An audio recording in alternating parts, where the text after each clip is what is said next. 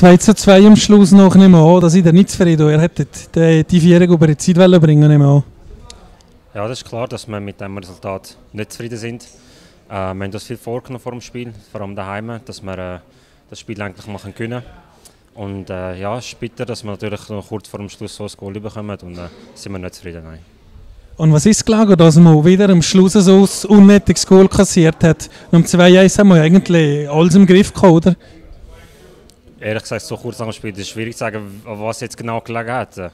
Aber natürlich ist das klar, das ist sehr bitter. So kurz vor dem Schluss muss man das daheim vor allem mit einmal mehr über Zeit bringen. Ähm, ja, das haben wir verpasst. Euch sonst ist ja nicht wunschgemäß gelaufen, es war ein schwieriges Spiel. Gewesen. Was ist denn so schwierig? Gewesen? Ist Lugano so gut gewesen, oder habt ihr nicht die beste Leistung abgerufen? Äh, ja, nach dem, nach dem Platz, äh, nach der roten Karte von Lugano, es ist natürlich klar dass sie reinstehen, drüben zumachen und auf Konter spielen. Ähm, aber trotzdem muss man sagen, haben wir uns, unsere Chancen nicht so klar ausgespielt, wie wir uns das erhofft hätten. Und das hätten wir besser müssen machen.